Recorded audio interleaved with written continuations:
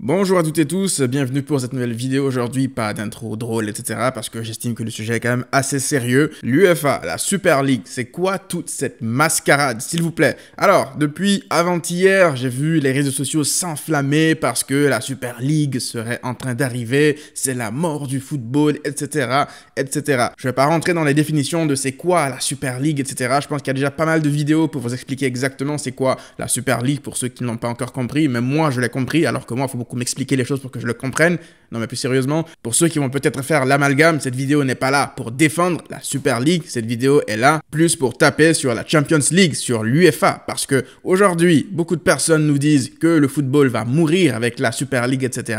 Mais le football, il est en train de mourir déjà. Le football, il est mort depuis de longues années. Aujourd'hui, est-ce que vous trouvez ça normal que des équipes telles que l'Ajax, qui éliminent le Real Madrid, soient obligées de passer par des tours de barrage pour se qualifier pour la prochaine Ligue des Champions, juste parce qu'ils jouent en Eredivisie, vous trouvez ça normal que l'UEFA fasse tout pour faire éviter les gros en huitième de finale? Cette règle de dire que deux clubs du même championnat ne doivent pas se rencontrer, donc tu élimines déjà un Classico, tu élimines un Barça Atlético, tu élimines tous les gros anglais qui ne peuvent s'affronter en huitième, sans parler de l'Italie, etc. Tout ça dans le but d'être sûr que les petits n'aillent pas très loin dans la compétition, parce que lorsque tu fais ça, il y a de grandes chances que les petits, ils piochent forcément un gros. Donc la probabilité de voir des petits dans le dernier carré, elle est très mince. Résultat, ces dernières années, c'est qui le petit qui a gagné la C1 Alors oui, il y a toujours des parcours, il y a toujours des épopées. L'Ajax, ça fait rêver les gens, l'Atalanta ou d'autres clubs, mais je trouve pas ça, moi, à titre personnel, juste qu'on tape autant sur la Super League et que de l'autre côté, bah, l'UFA, ils sont vus comme ceux qui vont sauver le football, alors que l'UFA même prévoit de réformer la Ligue des Champions pour en faire la jumelle de la Super League. Donc, moi, je pense qu'il y a beaucoup d'hypocrisie du côté de l'UFA. Ils ont créé la Nations League. Personne ne sait aujourd'hui à quoi elle sert, à part rajouter des matchs supplémentaires inutiles aux joueurs et donc multiplier le risque de blessure. L'UFA et la FIFA qui sont gangrénés par des scandales de corruption par-ci,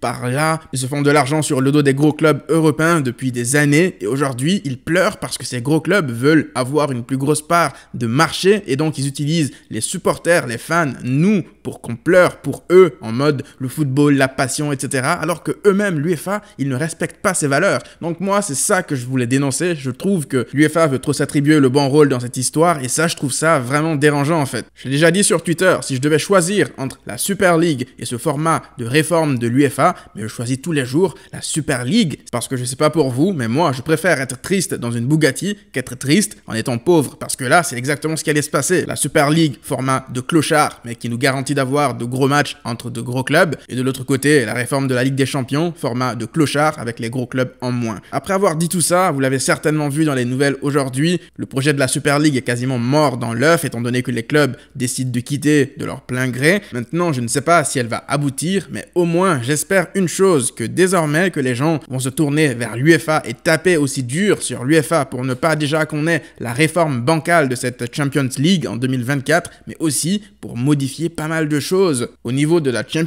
League actuelle, parce que respecter les petits, c'est ne pas par exemple obliger un champion d'Eredivisie comme l'Ajax de jouer des matchs de barrage pour accéder, alors que le quatrième de notre championnat, lui, arrive et on lui donne le tapis rouge comme ça, venez en Ligue des Champions. Si l'UFA tenait tant qu'à ça aux petits, ils enlèveraient aussi la règle de deux clubs du même championnat ne peuvent pas se rencontrer, parce que aujourd'hui, pour un petit arriver en finale avec cette règle, c'est quasiment impossible. Tu vas devoir te taper un gros en huitième, en quart, en demi et rencontrer un gros en finale. Autant dire que c'est quasiment mission impossible, sauf si tu es touché d'une baraka, mais extrêmement rare. Mais surtout la règle d'exclure le Real Madrid. Bon là, d'accord, je rigole, je troll un peu Madrid, on se calme, on se calme, je troll un peu les fans de Madrid. Mais bon, les frérots madrilènes, vous risquez quand même de vous faire exclure parce que pour rappel, c'est Florentino Pérez qui est derrière tout ça. Je dis ça, je dis rien.